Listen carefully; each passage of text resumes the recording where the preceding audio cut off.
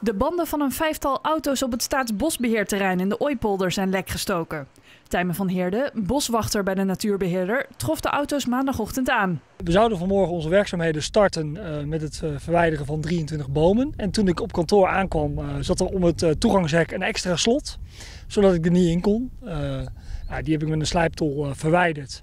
En toen ben ik eigenlijk met mijn collega's en de aannemer in gesprek gegaan om de werkzaamheden van vandaag te bespreken. En toen we wouden vertrekken richting het werkgebied, kwamen we erachter dat twee van onze auto's lekker voorbanden hadden. De overige drie auto's waren niet van de boswachters.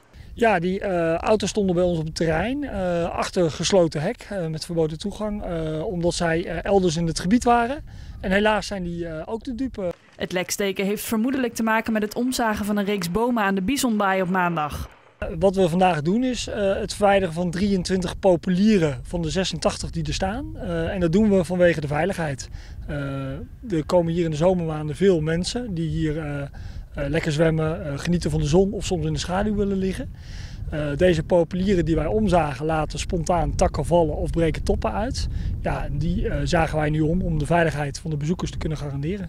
Staatsbosbeheer heeft aangifte gedaan. De kap van de bomen ging ondanks de protestacties gewoon door.